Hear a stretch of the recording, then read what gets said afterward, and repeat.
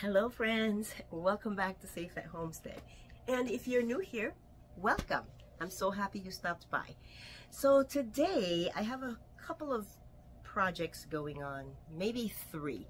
Um, I started the morning by heading out to meet some friends who kindly offered the use of their uh, long bed trailer to pick up some cattle panels. I have been putting off the cattle panel project because I mean, I knew it was inevitable. I want to do it, but it was so expensive. And just from shopping around, I found a local um, building supply company and I got cattle panels for $11 cheaper than anywhere else in town. So it, it pays to shop around and it pays to wait a little bit. Okay, so we got our cattle panels. They brought it home. Um, I also got some T-posts much cheaper than anywhere else. This is my favorite place now. Um, and then I went back out. I went to the library to drop off an overdue book. I stopped by um, the car wash, got the car washed and vacuumed. And then I went to Lowe's because I needed to get um, some fertilizer. I'm planting more potatoes, you guys. I'm finding places to plant potatoes. A friend gave me some large containers. I'm really grateful for that. I don't know. It just, potatoes are just uh, jumping in front of me every time I go to the store. So, and I can't help it. I have to buy them. So I have to plant some potatoes and needed some fertilizer. So I picked that up and then I picked up some spray paint and I will show you what I'm doing with the spray paint. Right now, I am going to make myself some breakfast and I am going to make some ghee and I thought I would share with you guys how I make my ghee and why I make ghee. All right, so let's jump into that. So before I get my breakfast started, I'm going to show you um, the butter that I'm using. I'm using Challenge butter. You can use any butter really to make ghee. I have several of these that uh, were given to me. Um, they're both salted and I'm going to use both of them today. So basically when you're making ghee, all you are doing is putting your butter in a heavy bottom pan. You need a heavy bottom pan because you don't want it to um, burn or scorch, right? Your butter. Let's get you closer if I can. So we're just putting um, our butter into this heavy bottom pan and you're going to put your butter on the lowest setting that your stove has. For me, it's low. Uh, and so I'm going to put it on that setting and I'm only going to do four sticks at a time. I don't like to do I guess it's it's just in case I ruin it for some reason. I've never ruined it before, but that way it's not a whole um, two pounds of butter that I ruined, right? So I just do one at a time. Um, you're going to turn your stove to low and you're going to let it start melting really, really slowly. And uh, then I will show you the next steps. There's really nothing much to making ghee, so it's, it's pretty easy. All right, so I'm going to make my breakfast and then I'm going to come back and show you how the ghee is looking. Just want to show you what's happening so far. All the sticks of butter have melted and you can see that now some bubbling is starting to happen. And what that's going to end up being like is just a bunch of foam on the surface. So what you're trying to achieve when you're making ghee is you want, you're going to have like three levels. You're going to have the foam at the top, the clarified butter in the middle, and all the milk solids on the bottom. So that's what we are uh, that's our goal here. And the foam is just barely starting with this bubbling. So I'll bring you guys back so you can see what that's gonna look like.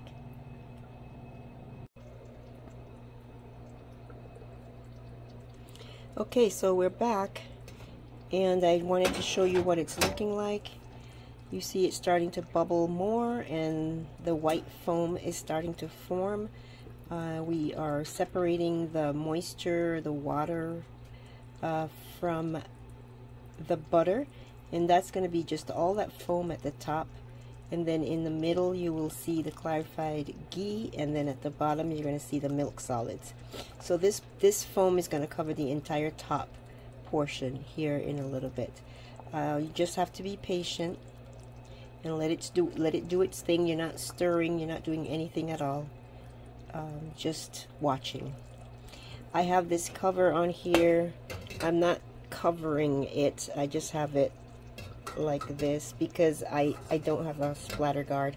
So I'm trying to keep butter from splattering on me, on my clothing, or burning me, and cutting down on how much of it gets on my stove. So that's why I have this. But if you have a splatter guard, that's the ideal thing to use. All right, so while this um, keeps working at becoming ghee, let's take a look at um, uh, just catch up a little bit on what's been going on outside. Um, you're going to see me working with the greenhouse. That was interesting. And then you get a look at the girls, the little girls, and see what they're up to. They've gotten so big, you guys. Take a look. You guys ever put any IKEA furniture together? You know that can be challenging, right? I think this is worse because there's absolutely no instructions. Fortunately, it's a small little greenhouse and it does tell me how many uh, pieces of each type I'm supposed to have, but that's all it tells me. Um, I do know where the parts go, so that's helpful um, because they are numbered here as well. So let's just get started, all right? You guys, I wish I had a GoPro on my head just now. All the chickens got out, uh, except for the young ones. And it was hysterical. My husband was on his way to a meeting. He had a suit on and he was running around in the yard trying to catch chickens. And I was, oh my gosh, it was so funny. I mean, funny, not funny.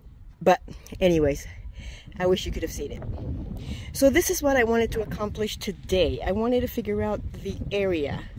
Like, because I'm going to be putting down um, uh, landscape fabric and I wanted to, to, keep weeds from coming up and I wanted to know what area um, I needed to put the fabric down and how much, you know, how wide is it really. I don't really remember the dimensions. Um, I know that it wasn't very deep, but there you have it. Uh, I've done this much without instructions and I, I, I don't think you need instructions. I think just looking at the diagram and they numbered everything so you should be able to tell. As you can see here, whatever the wind is picking up, we are expecting some high wind gusts. So this is not a project that I'm going to finish today.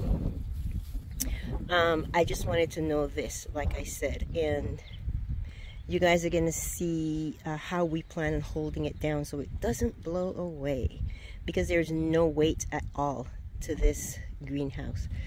Okay, uh, we'll get back with you as I make some more progress. All right, it is two days later and I am just following the diagram. Like I said before, there's no instructions, but the, the diagrams are pretty helpful and it's really all you need. So just taking a break from putting the greenhouse together. I wanted to come in here and show you guys these little girls. This is day three of them being out and about. They are congregating here in the clubhouse. Mostly they stay back here. Obviously, the big girls are back here right now. That black tail you see there is Pepper. I don't know why she's back there. And they are eating the baby's food, and I don't know why. Um, novelty maybe. So they've chased the little girls away. But they're not doing too bad. They are doing pretty good actually. Um, they are having more trouble with themselves and being out here. They're so skittish. But the big girls aren't really bothering them that much. This is funny. The big girls spend a lot of time inside the brooder no idea why, but they do. There goes Luna.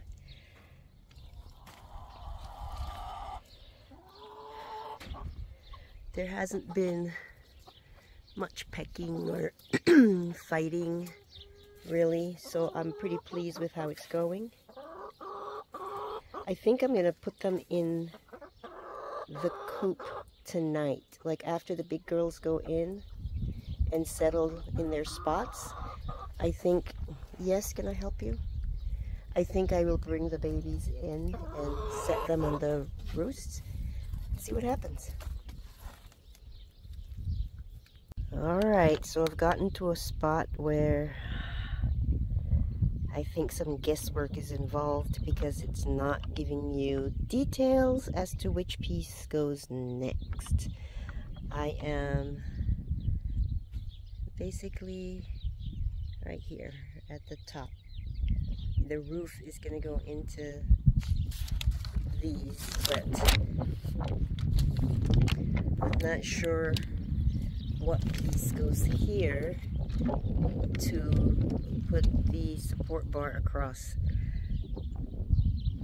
the back. Alright, I'm going to try to use some common sense here. Okay, I'm over here in the sand so I can show you the shelves. Uh, you see it has a little lip that goes up? Well, they are supposed to go on this way with the lip down and it's supposed to um, I guess, grab onto the sides of the shelf, the poles, but it doesn't work. It, it, it, it just doesn't work. And it doesn't work this way either. Neither way is very secure, so. But I like the idea of having it this way with the lip facing up because that'll offer a little bit more security to anything that's on the shelf. So what I am doing is just laying it on the little pipes with the lip up and zip tying it on there. I hope that makes sense. Um, you'll get to see it when it's all done. All right, it is done. I will say that there might be some trial and error with this when you're doing it. It's not anything that's a big deal, but um, my first error was putting a two foot piece at the bottom here across this way instead of a three foot piece. So it wasn't um, working to put the roofing part on or those trusses at the top and I couldn't figure it out and then I finally took a look at it and it looked a little lopsided and it's because I had the wrong size piece right up here. So I had to take the one from down there, put it up there, and then everything was fine. Um, yeah, it's not hard at all. It's just maybe just a tad tedious because there's no instructions, but you guys can do it. I am going to stop here. Oh, the shelves are zip tied on, by the way. I'm going to stop here because I don't want to... There are the shelves. I only put four of the six. I'm not sure if I'm going to put the ones at the bottom on or not. And I'm going to stop here now because I don't want to put the cover on it until we have the um, straps on to support it. I think they do give you something, but what they give you is nothing. It, it will not um, keep this on the ground in any kind of wind uh, anywhere, I don't think. And for us, even less so. So once we get the straps on, uh, the augers in and the straps on, and it's secure, then I'll bring you back to, well, I might show you how we do that too. But then I will put the cover on. So bold. Okay, so I wanted to bring you in close so you could see this foam forming, but also so you could see in between, just so you could see the three layers. So you see the foam here, and if I move it away, you can see the clarified butter, but you can see through it. Let's do it over here. You can see through it and you can see the milk solids at the bottom. I hope you can see that. There's foam, there's clarified butter,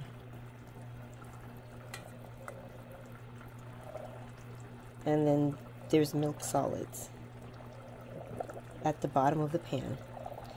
Okay, so we are just going to let this keep bubbling away until the um, foam starts to dissipate. Right now there's a lot of, whoa, let's cover that.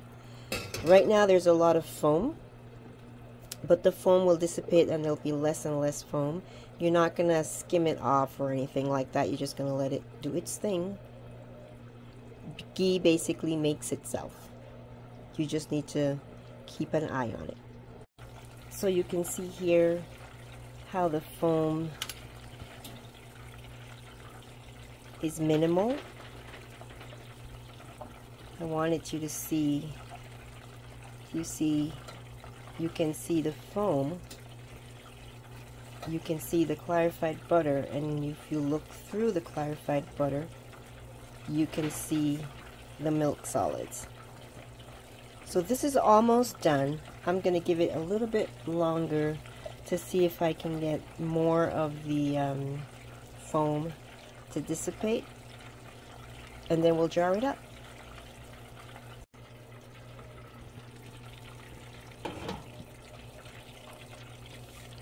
I'm going to call this done. I'm going to turn off my burner and I'm going to let this sit here for a bit. And then we're going to strain it into our jar and then I will show you um, a jar of ghee that I made six months ago I think. Six months or so ago and just chat for a second about why I even bother making ghee Alrighty, let's strain our ghee into our jar. I strain it because there's just little bits of that foam left. Not only that, just in case some of the milk solids get dislodged from the bottom, that's what it looks like. I don't want that to get into my jar. So here's my jar of ghee. Isn't that beautiful?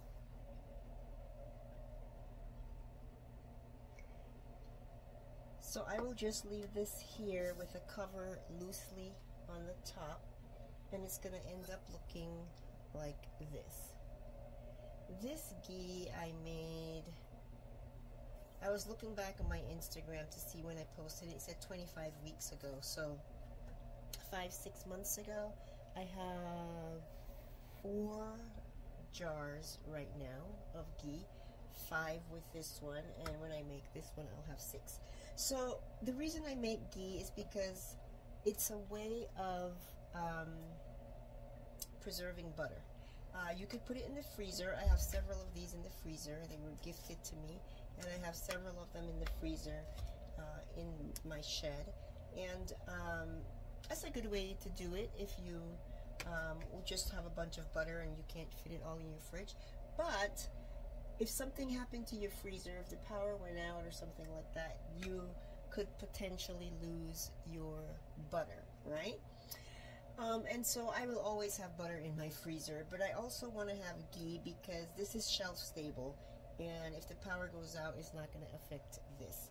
Also, uh, the other reason that I like ghee is because it has a high smoke point, so it's uh, I can't fry things without the butter burning, but I can fry things in ghee without the ghee burning. I have not used it to bake. A lot of people have used it to bake. It has its own different flavors, kind of a kind of a nutty flavor. It's not so much sweet. It's more I would call it savory. Nutty is, is how I, um, yeah, I think it's a nutty flavor. And um, so it, it, will make your cookies taste a little bit different or your cakes taste a little bit different. But I like having it on hand. And if there's ever, well, there is a shortage of different oils right now. Um, having a ghee on hand means that I can still fry things. I don't like deep fry a lot of things, but if I wanted to have an oil for stir frying uh, vegetables or anything like that, I have my ghee on hand and it will work for that. So as a way of preserving butter just um, because there's no room in the freezer, because of just being ahead of the game if your power goes out for an extended period of time, uh, if you uh, can't get your hands on olive oil or uh, whatever oils you use, all of those reasons are uh, reasons why I like to have ghee on hand. Now, lastly, I want to talk about this um, milk solids. I'm not going to save this um, batch of milk solids, but I have saved it in the past. And I keep it in my freezer, and this is, uh, I don't know, probably two or three or four uh, batches of ghee. You can't really tell much from just looking at it like that. But looking at it from the side, you can see, uh, get a better idea of what it looks like. Or I could just show you this again. So this is what it looks like. And I I just felt like I should save this when I first started making ghee. I didn't know what I was going to do with it, but I was like, oh man, this is, it's kind of, it's salty. It's pretty salty because all the salts are in there. If you make your um, ghee with unsalted butter, obviously, your milk solids won't be salty. But um, I felt like there's something I could do with it, and I just asked, uh, I think I asked on, on Instagram, or maybe I asked friends, I don't recall, but somebody said use it when you make beans. And I thought that was a great idea. So I saved it. You're just gonna, you know, taste and use a little at a time because you don't want to use too much. It's very salty. So you would get your salt and a little fat from uh, the milk solids in your beans.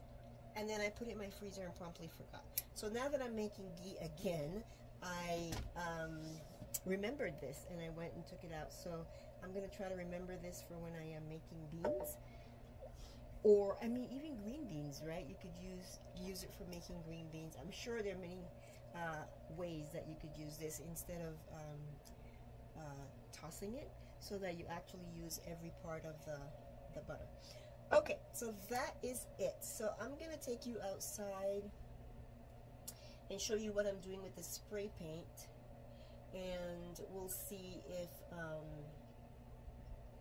yeah, I have another big project that I'm doing today, and I, I don't know exactly what time that's going to start, so I don't know if there's going to be enough light to show you as I am doing it, but we'll see. Alright, so this is what the finished product of your ghee will look like, and I think that um, you would appreciate having it if push came to shove, if, you know, you just have no butter or your butter melted or got went bad or whatever the case may be to just be able to grab this from your shelf and use it just like you would um, any butter but also like you would any oil that has a high smoke point. All right let's go outside and play with with uh, spray paint. Did I ever show you guys the greenhouse? I don't think I officially showed it to you. I did show you the frame after I got it up uh, I did have some trouble with getting the plastic on because uh, I didn't push in all the parts far enough that made that made it hard to put on the shelves but now the shelves are on the way they should be.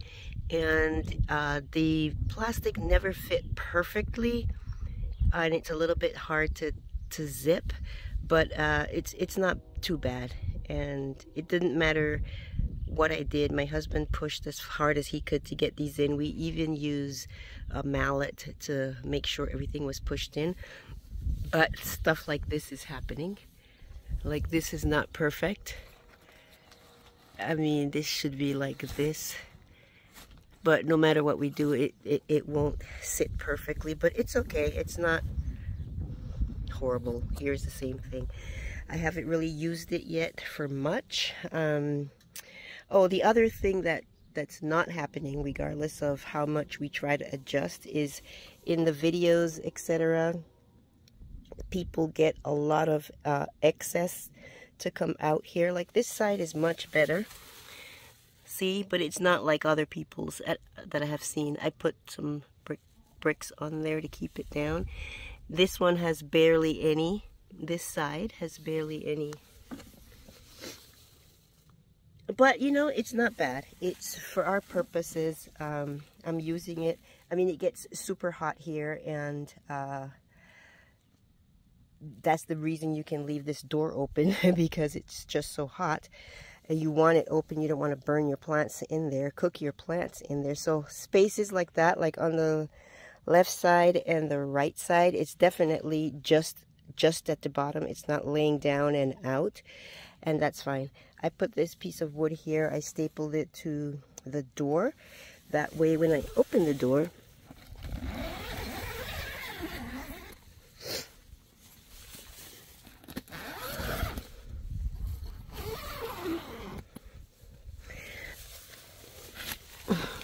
I can roll it. So, because when I was rolling it just the plastic, it was coming out too big.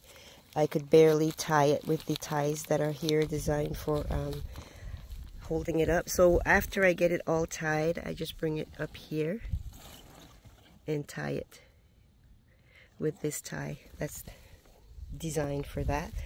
Uh, and that's the way you can leave the greenhouse open.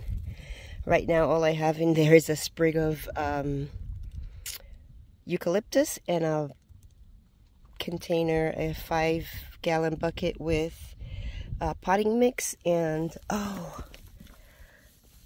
oh, a box of potatoes. I almost forgot about that. Let me grab it. I need to find a place to plant this. And I promise this is my last potato that I am buying. I keep buying potatoes. I won't buy any more potatoes. These are some more of the banana potatoes. Okay, so I'm just gonna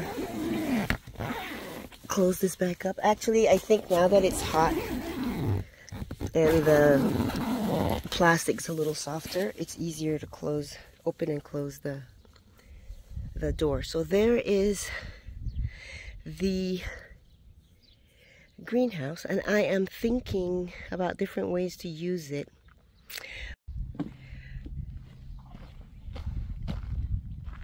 I never showed you guys what I did with the spray paint.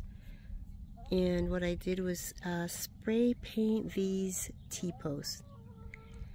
I did this because, well, T-posts are just drab. But really the reason I did it is because I'm trying to add some decorative touches to my garden. Not just, you know, the plants, but just decorate it a little bit and I thought having colorful T-posts would be one way to do that.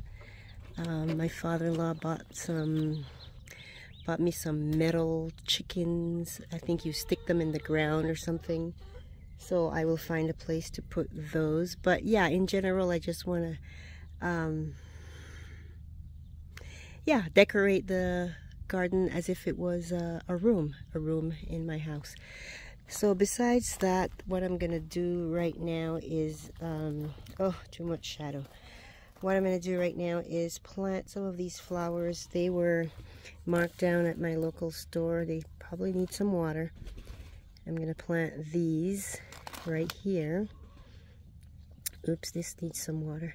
Yeah, I'm going to hurry and plant these and call it a day. I think I'm just going to take a nap. I feel like I need one. Alright, you guys, we'll see you next time. Go do something small. So right now we are working on getting our trellises up. These are the 16 foot cattle panels we recently bought. And this year, instead of four T-posts, two on each side, I'm trying one. And here's the second one and now we're doing this the whole length of this bed which is almost eight feet not quite so we're going to be overlapping cattle panel right here so far so good it's not the easiest thing. But, ooh, look at the sunset.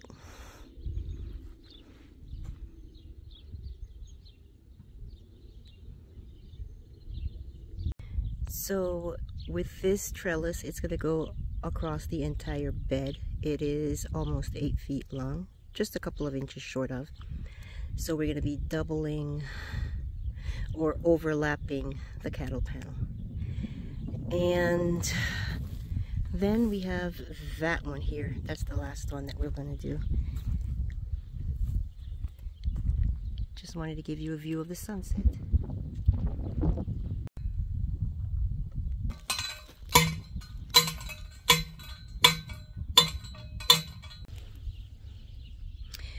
Okay, so this is the last trellis we're putting up, the last arch. The mister is going to bring that cattle panel